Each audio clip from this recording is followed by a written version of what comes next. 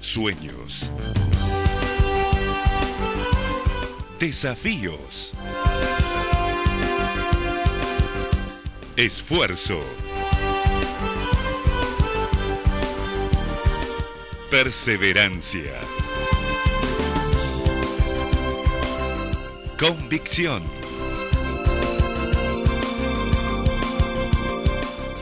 Esto es Viajes y Protagonistas.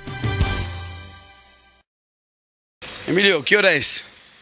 Son 9 de la mañana. 9 de la mañana. ¿Y qué se puede hacer ahora?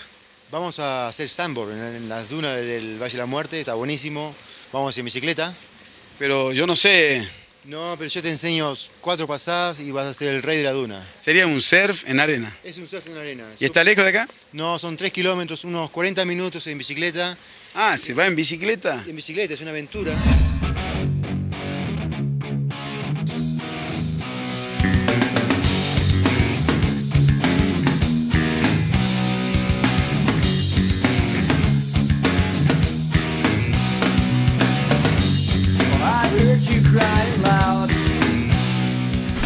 ¿Cuántos kilómetros tenemos que andar en bicicleta, Emilio?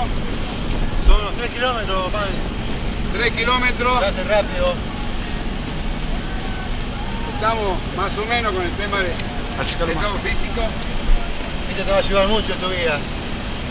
Lindo paisaje vamos a recorrer. Ahí nomás, Súper bonito, súper bonito. Surf en arena. Un, gran- un gran desafío para que este gran maestro Emilio me pueda dar un curso rápido, Curso intensivo. un curso intensivo. A primera vista parecía sencillo. Una bicicleta en buenas condiciones, una mochila con víveres y una tabla de surf. Pero de todas las experiencias vividas en Atacama, esta iba a ser la más complicada. Y Cacho está a punto de descubrirlo. Después de una larga subida y una gratificante pendiente para recobrar algo del aliento perdido a 2.400 metros sobre el nivel del mar, abandonamos el asfalto para internarnos en el Valle de la Muerte. El sendero se vuelve arenoso, las cuestas son más cortas pero más pronunciadas, con lo que cada vuelta de pedal requiere de un gran esfuerzo. ¿Por qué no habremos hecho como los que cruzamos más abajo, que alquilaron caballos para ahorrarse el esfuerzo? Era la idea que rondaba en la cabeza de los protagonistas de la aventura mientras buscaban sombra para la primera parada. Cansado, ustedes. Muy, muy cansado. Para un ratito aquí. Sombra. Sí, para, baja un ratito. Me alcancé. Ay, Dios. Ah, Toda una aventura. ¿cuánto, ¿Cuánto faltará? Ahora faltan unos 700 metros más o menos. Estamos cerca. Ya no tenés resto con toda la energía que he gastado acá. No va a tener resto, se va a recuperar. Es fácil, fácil. conseguí agua ya. como hemos Sí, sí, sí. Ahí. Valle de la Muerte este. Valle de la Muerte. ¿Quién le ha puesto el nombre ese? Eso lo puso Gustavo Lepage. Él fue un cura, un sacerdote belga. Él le llamó Valle de la Luna. Y acá que es un poco más rojizo. eh, él pensó en el planeta Marte, pero decir Marte en español, él dijo algo así como Marte. Y la gente pensó que era muerte. Pero es Valle de Marte, Valle de la Luna. Es como que todo es barro esto. Esto en la superficie es barro, es arcilla, pero estamos hablando de. son como sedimentos, eso se, en el pasado llueva mucho, y después, como fue cambiando el clima, ahora es muy seco, muy, muy escasa humedad, se va como solidificando y en sí uno lo toca y es como. no es tan frágil, a la vista es frágil. Ah, es duro. Sí, es duro. Es como barro petrificado así. Acá. Es como una piedra. Claro. Ah, parecía. ¿Y hay animales por acá? No, animales no. Ningún animal se encuentra. Ninguno animal se encuentra acá. ¿Qué superficie tendrá el Valle de la Muerte? Valle Muerte, unos 5 kilómetros cuadrados. Y esto es el, es el acceso, ya es parte Valle de la Muerte, Claro. pero es el acceso. Después con- consta de una duna donde hacemos sandboard, que vamos ahora. Sí. Y después las cornisas, que se están en las partes más altas. También eh, se puede hacer trekking ahí. Vamos, si llegamos. Vamos, seguimos.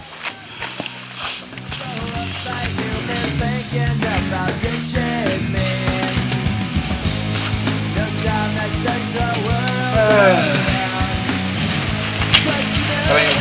Si bien el nombre del Valle de la Muerte nació de un error fonético, resultó ideal para un lugar donde no se observa ningún rasgo de vida autóctona. La uniforme tonalidad rojiza de las caprichosas formaciones arcillosas que rodean el camino confieren al lugar un aura de desolación y lejanía que, de a ratos, nos hace olvidar que estamos a pocos kilómetros de San Pedro de Atacama. Pero unos metros más adelante, el entorno comienza a cambiar.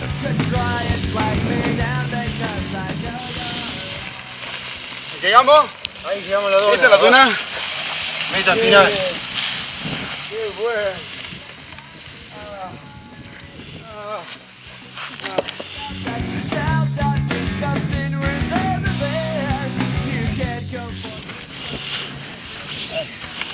Ahora vamos a empezar No daba en más. la parte más, más baja, para que vaya tomando No más. equilibrio, después vamos subiendo, subiendo. Y en 5 minutos, de arriba te vas a tirar. Cinco minutos. 5 minutos Vamos a un curso. Vas a un curso intensivo. ¿Y acá cuántas personas vienen a practicar surf en esta arena? Acá en temporada alta puede ser turno de mañana 50 personas, turno de la tarde 50 personas y con luna llena se practica por la noche. Otras, ahí viene más, 70 personas. 80. 70 personas. Como está súper ocupada la, la- la duna. ¿Por dónde empezamos? ¿Por acá? Nosotros vamos a empezar la parte más eh, baja, Sí, por acá. empezamos por acá. Vamos a hacer una aclimatación Sí. y después vamos subiendo. Bueno, ahora sí, vamos a subir a, a la duna. Debe tener unos 80, 70 metros. ¿Cuán- ¿Cuántos metros? Promedio 80, sí, 80 metros. Bastante dura la subida, ¿no? La subida es dura, igual como consuelo, la primera vuelta, la subida, es muy cansador. Cuando te tirás y ves que es divertido, la segunda más o menos, la tercera, el cuerpo calienta y ahí ya se te va el cansancio y subes casi que corriendo. Más tarde te vas a explicar por vos mismo que lo vas a subir corriendo. Bueno, vamos.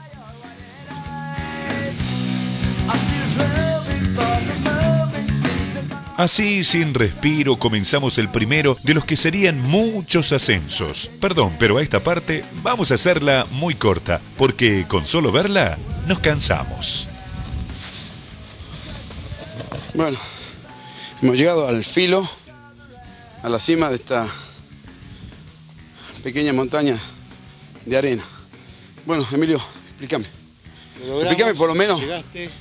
Explícame por lo menos cómo, cómo se patina, quiero ver. Claro, ahora- Y después continuamos con la parte teórica y voy yo. Claro, Esta, por ejemplo, es una tabla para un zurdo, para un goofy. Así que voy a usar la otra tabla, ¿sí? Sí. Porque yo soy derecho, soy regular. Ya es muy simple. La idea principal es que no te. Que nunca pongas tu peso hacia adelante. Sí, eh, Porque con el- la tabla se va a clavar en arena y te vas a dar vuelta. bueno, vos mostrame ahora y después yo voy a ver y después hacemos la parte teórica. Claro, yo te hablo de la práctica ahora Sí. y la teoría. Vamos. Acá se pone un poquito de cera para que vaya con velocidad. Si no, si no hay cera, no hay movimiento. Yo le voy a poner un término no para principiantes, le voy a poner para que vaya con poco velocidad para mostrarle cómo. Bueno, Eso sí, yo te voy a enseñar una caída también en el camino. Bueno. ¿Sí? continuamos.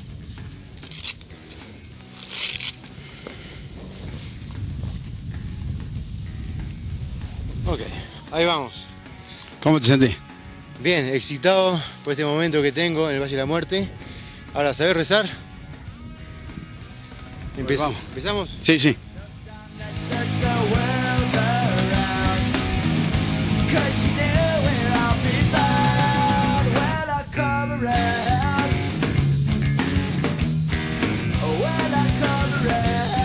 Muy bien. Bueno, hasta acá llegamos con esta experiencia de andar en bicicleta en el Valle de la Muerte. Ahora viene el gran desafío de aprender a, a surfear en la arena.